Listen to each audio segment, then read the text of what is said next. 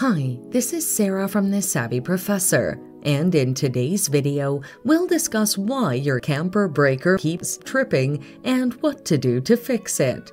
Watch until the end of the video to learn about this and much more. Here are some of the reasons why this happens.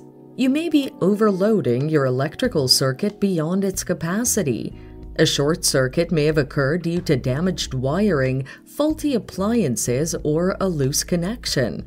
The breaker may be faulty due to wear and tear over the years.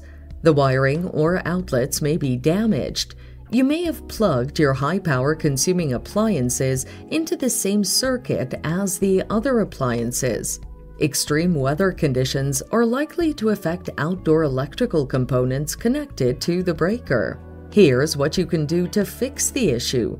Turn off all appliances and reset your breaker to assess whether it can stay on without a load.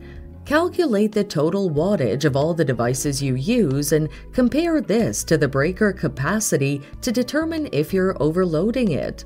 Carefully inspect all your wires and outlets and consult a professional to replace the damaged ones. If the breaker is old, damaged, or worn out, you should replace it.